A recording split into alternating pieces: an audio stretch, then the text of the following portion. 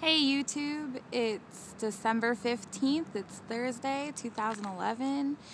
This is your weather share for Carson City, Nevada. I'm trying to get the mountains. I'm stuck at work today, so I convinced my boss to let me come out and do a weather share. But anyway, these are snow clouds.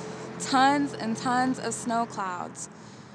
There's a 50% chance of snow, which I really don't think is fair. It could or could not snow. Come on, really? Anyway, um, 39 degrees, not that much wind. It's way warmer than it has been, which I'm sure that's the warm front before the snow.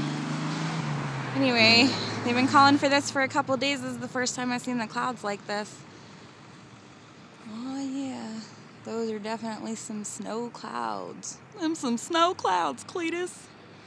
Anyway, well, thought I'd share what it looks like looking like it might snow. Hang in there, folks, and enjoy it while you can.